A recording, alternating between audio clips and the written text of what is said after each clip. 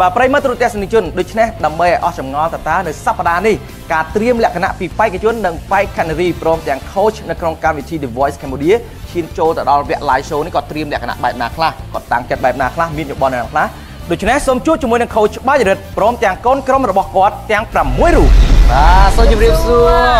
ចាសួរសូមស្វាគមន៍លោកដបបាយរិទ្ធចានៅក្នុងថ្ងៃនេះយើងបានជួបគ្នាហើយបាទជាមួយនឹងបាទអរគុណអឺសមាជិកថ្មីថ្មីទៀតនៅក្នុងថ្ងៃនេះចាពីព្រោះអត់ដល់យើងជួបតែម្នាក់ឯងទេបាទបាទចូលមកដល់ថ្ងៃនេះ coach បាច់រិទ្ធគាត់នាំកូនក្រុមរបស់គាត់សមាជិកចា៎ទាំង6រូបដែលត្រៀមលក្ខណៈចូលទៅក្នុងវគ្គ live show បាទបាទយ៉ាងម៉េចដែរទៅការងាររយៈពេលប្រហែលសប្តាហ៍កន្លងមកនេះចំពោះការអភិវឌ្ឍខ្លួនរបស់កូនក្រុមរបស់លោកយ៉ាងណាដែរបាទ អឺនិយាយទៅគឺអឺពួកគាត់នៅក្នុងកំឡុងពេលនេះគឺកំពុងតែវឹកហាត់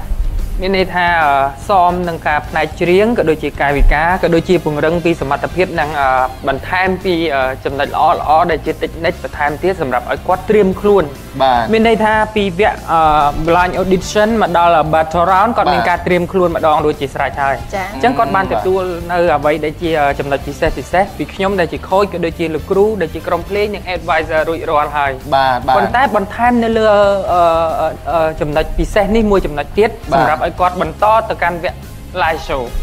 ចាបាទដូច្នេះអ្វីដែលសំខាន់គឺអឺនៅត្រង់ថាតើពួកគាត់ទាំងអស់នោះទាំង6រូបនេះគាត់អាចត្រង់ត្រាប់និងក្តាប់យកបានប្រមាណចំណុចនិងប្រមាណភាគរយដែលគាត់អាចធ្វើទៅរួចចាប៉ុន្តែបាទខ្ញុំជឿជាក់ថាគាត់នឹងខំបាទជាការពិតអឺចំពោះអឺវគ្គ live show នេះគឺតម្រូវទាមទារឲ្យបេក្ខជន ដែលជាកូនក្រុមរបស់លោកគឺគាត់ធ្វើយ៉ាងណាក៏ដោយឲ្យតាក់ទាញវិជ្ជាប្រយោជន៍ភាពបានច្រើនតាមរយៈការវោតបាទទស្សនិកជនពីបាទអញ្ចឹងតើដូចលោកវិបុលនិយាយបាទលោកលោកមានត្រៀមលក្ខណៈអ្វីខ្លះក្នុងការបង្វឹកបង្ហាត់ដើម្បីឲ្យគាត់បានន័យថាមិនត្រឹមតែលោកដែលពេញចិត្តទេសូម្បីតែទស្សនិកជនដែលទស្សនានៅក្នុងកម្មវិធី The Voice Cambodia វគ្គ live show នេះក៏គាត់ពេញចិត្តដូចលោកដែរបាទតើលោកមានត្រៀមលក្ខណៈបង្រៀនគាត់ផ្ដល់នឹងគាត់យ៉ាងណាខ្លះដែរបាទជាការពិតមួយដែលអឺជាសំណួរមួយដែលខ្ញុំកំពុងតែចង់ឆ្លើយបាទបាទពីព្រោះថាអឺ វគ្គ blind audition ហើយនិង battle round បាទជាការសម្រេចចិត្តផ្ទាល់របស់ខ្ញុំដែលជា coach បាទបាទដូច្នេះអឺខ្ញុំយល់ពីអឺលទ្ធភាពនិងសមត្ថភាពរបស់បេក្ខជនបាទប៉ុន្តែសម្រាប់វគ្គនេះគឺទាមទារឲ្យគាត់ដែលជាបេក្ខជនហ្នឹងចេញអស់នៅសមត្ថភាពរឹតតែខ្លាំងបាទមានន័យថាខ្លាំងមែនទែនបាទបាទហើយអ្វីបាននិយាយបានថាអឺត្រូវតែខំអស់ពីសមត្ថភាពពីព្រោះវគ្គមុន ជាការប្រៀបធៀបប្រៀបធៀបរវាងបេក្ខជនមួយនិងបេក្ខជនមួយចាបាទដូច្នេះបាទខ្ញុំអាចឆ្លោះបញ្ចាំងឃើញពីអឺចំណុចពិសេសរបស់បេក្ខជនណាម្នាក់ដែលខ្ញុំត្រូវជ្រើសរើសបាទប៉ុន្តែសម្រាប់វគ្គនេះយើងអត់បានធ្វើការចាប់គូទៀតទេគឺ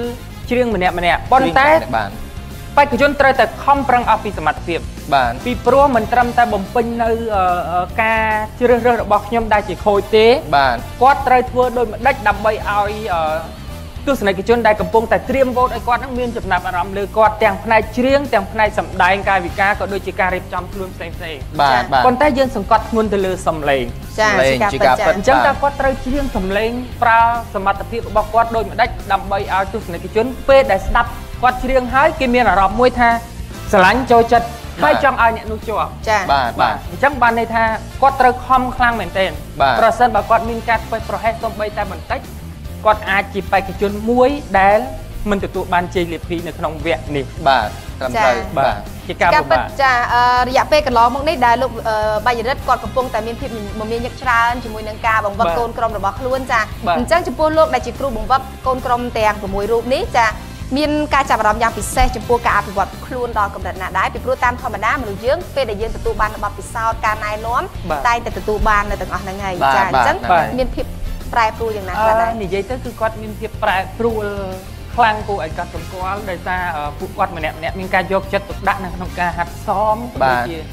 ការហាត់ច្រៀងចាជាពិសេសនោះគាត់កាន់តែយល់ដឹងពីអ្វីដែលខ្លួនគាត់ត្រូវធ្វើបាទមានន័យថាគាត់ចាប់ផ្ដើមមានម្ចាស់ការនៅលើខ្លួនឯងចាហឹមចាប់ផ្ដើមបាទដឹងថាខ្លួនគាត់ប្រៀបបានទៅនឹងតារាចម្រៀងអាជីពចាមួយរូបបាទបាទខ្ញុំតែងតែឧទាហរណ៍ថាដូចជាខ្ញុំដែលជាតារាចម្រៀងអាជីពបាទហើយជាគ្រូបង្វឹករបស់ពួកគាត់ចានៅពេលដែលខ្ញុំឡើងច្រៀងខ្ញុំត្រូវតែរកវិធីអ្វីដែលធ្វើឲ្យទស្សនិកជនទះដៃ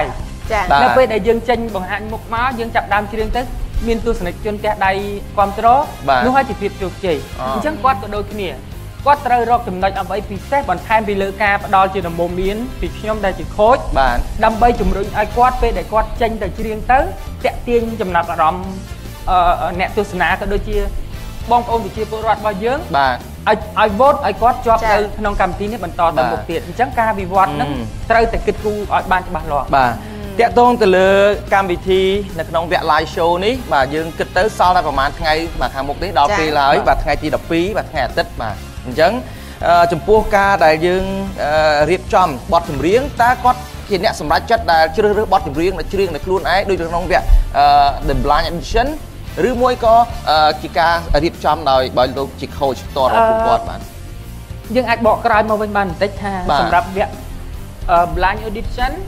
បទចម្រៀងគឺជាចំណូលចិត្តនៃការជ្រើសរើសផ្ទាល់របស់គាត់បាទសម្រាប់ battle round នៅពេលដែលយើង select យកបេក្ខជនណាម្នាក់ឲ្យមកចាប់គូជាមួយបេក្ខជនណាម្នាក់យើងសិក្សាពីសមត្ថភាពរបស់គាត់បាទហើយយើងជាអ្នកជ្រើសរើសចម្រៀងឲ្យគាត់ច្រៀងអឺមានន័យថាយើងស្វែងយល់ពីសមត្ថភាពរបស់គាត់បាទចា៎ហើយយើងដាក់ចម្រៀងទៅគាត់ត្រូវធ្វើឲ្យបានចា៎ប្រសិនបើគាត់ធ្វើបានគាត់គឺជាបេក្ខជនដែលអាចឈានឆ្ពោះទៅវគ្គ live show បានចាដូច្នេះហើយអ្នកដែលមានសមត្ថភាពឆ្ពោះមកកាន់វគ្គ live show បានមានន័យថាអ្នកនោះ ជាបេក្ខជនដែលពូកែអាចធ្វើបាននៅរាល់លក្ខន្តិកៈដែលកម្មវិធីតម្រូវឲ្យចាបាទដូច្នេះនៅក្នុងវគ្គ live show នេះអឺជាការពេញចិត្តតរបស់គាត់ព្រោះយើងទុកឱកាសឲ្យគាត់ម្ដងបានន័យថាយើងឆ្លាស់បាទចា៎បាទយើងឆ្លាស់ហើយយើងគ្រាន់តែស្ទាបស្ទង់ពីសមត្ថភាពថាតើបទចម្រៀងដែលគាត់រើសមកនោះបាទស័ក្តិសមជាមួយសមត្ថភាពរបស់គាត់អត់បាទចា៎ជួនកាលទៅប្រសិនបើបទចម្រៀងនោះមានភាពងាយស្រួលពេកធ្វើឲ្យទស្សនិកជនគាត់គិតថាបទហ្នឹង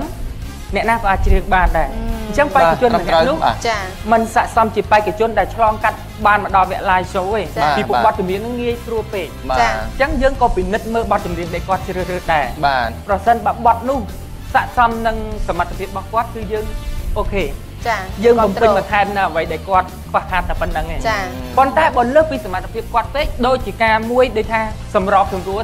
ទៅជាមួយគាត់ឲ្យគាត់ពិបាកលើសពីសមត្ថភាពខ្លួនគាត់ទៅវិញបាទអញ្ចឹងយើងលៃលៃចាឲ្យស័ក្តិសមនឹងសមត្ថភាពរបស់បេក្ខជនចាដែលហេតុថានៅក្នុងវគ្គ live show នេះគឺតម្រូវឲ្យមានអឺយើងយកម្ដងគឺបេក្ខជនបេក្ខនារីចំនួន3រូប3រូបចាបាទដើម្បីបាទមកមកប្រឡងគ្នាជាបាទបន្តទៀតបាទចាហើយដែលយើងបានជ្រាបហើយថាមានម្នាក់គាត់នឹងជាប់ស្វ័យប្រវត្តិតាមរយៈការវោតពីសំណាក់ទស្សនិកជនបាទចាត្រឹមដូច្នេះត្រូវបាទមានពីររូបទៀតដែលប្រឈមមុខជាមួយនឹងលោកក្នុងដប់បាយការរទៀតហើយជ្រើសរើសចា គិតថាលក្ខខណ្ឌបែបហ្នឹងពីព្រោះតាមធម្មតាកូនក្រុមដែលរស់នៅជាមួយយើងជាយូរមកហើយចាបាទមានភាពស្និទ្ធស្នាលហើយយើងបានស្ទាបស្ទង់នៅសមត្ថភាពរបស់គាត់គិតថាពិបាកទេក្នុងការសម្រេចចិត្តយកតែម្នាក់ក្នុងចំណោមគាត់ទាំងពីរអឺខ្ញុំជឿថា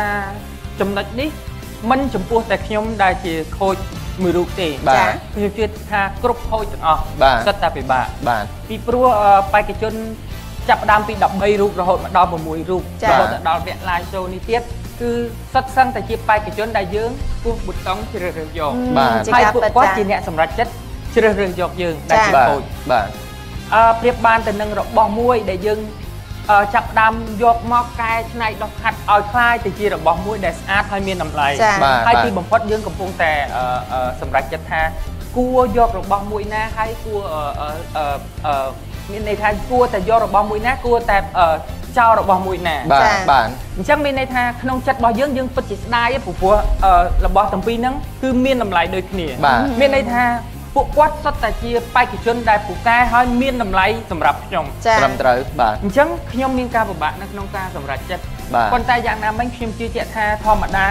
សមត្ថភាពរបស់មនុស្សអ្វីក៏ដោយតែងតែមានចំណុចពិសេសជាងល្អជាងត្រឹមត្រូវនិងមានបាទចំណុចខ្វះខាតជាងបាទចា៎បាទអញ្ចឹងបាទបានជាខ្ញុំគិតថាអឺខ្ញុំលើកពីបញ្ហានេះយកមកគិតវិញខ្ញុំគិតថាពិបាកមែនសម្រាប់ខ្ញុំអឺប៉ុន្តែបាទខ្ញុំជឿជាក់ថានៅតែមានអឺបេក្ខជនដែលមានភាពលេចធ្លោជាងនៅក្នុងការ ធ្វើឲ្យខ្ញុំសម្រេចចិត្តនៅក្នុងការចា៎ជ្រើសរើសអឺអរគុណណាស់លោកដែលបានផ្ដល់នៅអឺយោបល់តាក់ទងនឹងការត្រៀមខ្លួននៅក្នុងកម្មវិធី The Voice Cambodia វគ្គ live show ហើយនឹងការផ្ដល់ជាដំបូន្មានខ្លះៗតាក់ទងទៅលើការហ្វឹកហាត់របស់អឺចា៎កូនក្រុមរបស់លោកអញ្ចឹងជាចុងក្រោយនៅក្នុងថ្ងៃនេះតើលោកចង់និយាយបង្ហាញអ្វីខ្លះទៅដល់ទៅកាន់ប្រិយមិត្តទូរទស្សនិកជនជាពិសេសនៅក្នុងកម្មវិធី The Voice Cambodia វគ្គ live show ខាងមុខនេះបាទអរគុណអឺជាចុងក្រោយគឺខ្ញុំសូមថ្លែងអំណរគុណ យ៉ាងជ្រាលជ្រៅចំពោះអឺទូរទស្សនិកជនគ្រប់មជ្ឈដ្ឋានទាំងអស់ហើយដែលថ្មីថ្មីនេះគឺអឺប្រមុខរាជរដ្ឋាភិបាលក៏លោកមានការអឺចាប់អារម្មណ៍និងបាទស្នើសរសើរពីកម្មវិធី The Voice Cambodia បាដែលទធ្វើបាឲ្យទយើងជាខូចទាំងអស់គ្នាមានមោទនភាពនិងមានសន្ទុះចិត្តនៅក្នុងការធ្វើការងារនេះឲ្យចា៎កាន់តែខ្លាំងឡើងបាទជាបាទពិសេសគឺខំអស់ពីសមត្ថភាពចា៎បាទបាទ ហើយអឺក៏សូមយកឱកាសនេះអរគុណដល់អឺពុកម៉ែបងប្អូនទស្សនិកជនទាំងអស់ដែលអឺគាំទ្រនៅកម្មវិធី The Voice Cambodia ដែលពិតស្ស្វ័យត្បិតថាអឺនេះគឺជា season ដំបូងចា៎ក៏ប៉ុន្តែយើងទាំងអស់គ្នាពិតជាខិតខំអស់ពីលទ្ធភាពមែនចា៎បាទទាំងខ្ញុំដែលជា coach ក៏ដូចជាក្រុមការងារនិងកម្មវិធីផ្ទាល់តែម្ដងចា៎បាទគឺខិតខំស្វែងរកអ្វីដែលល្អហើយឲ្យអឺបងប្អូនមានមានការអឺអឺស្វែងយល់ថា ដូចម្ដេចដែលហៅថាការប្រកួតប្រជែងនៅក្នុង The Voice Cambodia បាទចាដូចម្ដេចដែលហៅថាកម្មវិធី The Voice Cambodia អញ្ចឹងមកដល់កលៈទេសៈនេះខ្ញុំជឿជាក់ថាទស្សនិកជនគាត់គាត់យល់ច្រើនពីកម្មវិធីនេះកាន់តែច្រើនត្រឹមត្រូវចា៎បាទការព្រោះពិតថាកម្មវិធីនេះយើងយើងនិយាយពាក្យអឺពាក្យស្លាប់មួយថាជាការប្រកួតប្រជែងជាការប្រឡងចម្រៀងដែលខុសពីការប្រឡងចម្រៀងដទៃទៀតបាទបាទបាទអញ្ចឹងមានន័យថាគឺខុសខុសប្លែកពីកម្មវិធីដទៃរួចស្រេចទៅហើយចា៎បាទអញ្ចឹងឥឡូវនេះគាត់ខ្ញុំជឿថាគាត់ យល់ច្រើនពីកម្មវិធីនេះបាទហើយក៏សូមអរគុណចំពោះអឺមតិរិះគន់ដើម្បីស្ថាបនាផ្សេងផ្សេងៗដើម្បីចា៎ឲ្យកម្មវិធីរបស់យើងកាន់តែដំណើរការល្អបាទបាទខ្ញុំជឿជាក់ថាអឺបងប្អូនខ្លះគាត់អាចមានការគិតការស្ដាប់ការសម្លឹងឃើញនិងការរិះគិតបានល្អជាងខ្ញុំដែលជាខូចទាំង4បាទអញ្ចឹងសូមឲ្យបងប្អូនយកអ្វីដែលល្អទាំងអស់នេះជួយផ្ដល់ជាមតិដើម្បីអឺស្ថាបនាពួកខ្ញុំទាំង4ក៏ដូចជាកម្មវិធីឲ្យកាន់តែល្អប្រសើរនៅអឺ season season ក្រោយទៀតក្រោយទៀតបាទហើយពួកខ្ញុំនឹងខិតខំដូចគ្នាបំពេញរាល់តម្រូវការរបស់អ្នកបាទចាអអររគុគុណណច្រើនច្រើនចាលោកបាទអរគុណដែលបានផ្ដល់ឱកាសចូលរួមនៅក្នុងចាកម្មវិធីដើម្បីបកស្រាយអំពីការឈានទៅដល់ក្នុងមុននឹងចូលដល់វគ្គ live show នៅក្នុងពេលឆាប់ឆាប់ខាងមុខនេះបាទជូនពរឲ្យកូនក្រុមរបស់លោកទាំង6រូបក្នុងម្នាក់ណាមួយខ្លាយទៅជាម្ចាស់ពានរង្វាន់ The Voice Cambodia រដូវកាលទី1របស់ទូរទស្សន៍ Home HD TV អរគុណចាបាទអរគុណច្រើនចាអអររគុណគុណចំពោះការចូលរួមចានៅវគ្គ live show បន្តទៅទៀតនេះខ្ញុំបាននឹងខំពង្រឹង នៅសមត្ថភាពខ្លួនឯងធ្វើយ៉ាងណាដើម្បីដណ្ដើមនូវជ័យលាភីសម្រាប់វគ្គបន្តនេះឆ្ពោះទៅកាន់ជ័យលាភីកាន់ពាន The Voice ឲ្យស្ទាល់តែបានជាមួយនឹងវគ្គ live show នេះផងដែរខ្ញុំនឹងខិតខំបញ្ចេញឲ្យអស់ពីសមត្ថភាពរបស់ខ្ញុំក្នុងការសម្ដែងនៅលើឆាកដើម្បីឲ្យបងប្អូនបោះឆ្នោតគ្រប់គ្រងដល់ខ្ញុំ ដើម្បីឈានទៅកាន់វគ្គខាងមុខជាបន្តទៀតនាងខ្ញុំសង្ឃឹមថានាងខ្ញុំនឹងអាចពង្រឹងសមត្ថភាពរបស់នាងខ្ញុំដើម្បីបន្តទៅវគ្គបន្តទៀតហើយនាងខ្ញុំក៏សង្ឃឹមថាបងប្អូនទស្សនិកជននឹងជួយវត្តគ្រប់គ្រងដល់នាងខ្ញុំដើម្បីឆ្លងទៅវគ្គបន្តទៀតខ្ញុំមានអារម្មណ៍សប្បាយរីករាយមែនទែនហើយអឺខ្ញុំនឹងខំប្រឹងឲ្យអស់ពីសមត្ថភាពដើម្បីឲ្យបងប្អូនទាំងអស់គ្រប់គ្រងដូចខ្ញុំដើម្បីឆ្លងកាត់ផុតពីវគ្គនេះទៅវគ្គមួយទៀតហើយខ្ញុំសង្ឃឹមថាអ្វីដែលខ្ញុំមានខ្ញុំសម្ដែងទៅសង្ឃឹមថាទស្សនិកជននឹងពេញចិត្តហើយ នាងខ្ញុំនឹងខិតខំប្រឹងប្រែងដើម្បីធ្វើយ៉ាងម៉េចឲ្យទស្សនិកជនពេញចិត្តនាងខ្ញុំហើយនឹងវោតគ្រប់គ្រងនាងខ្ញុំដើម្បីឲ្យនាងខ្ញុំ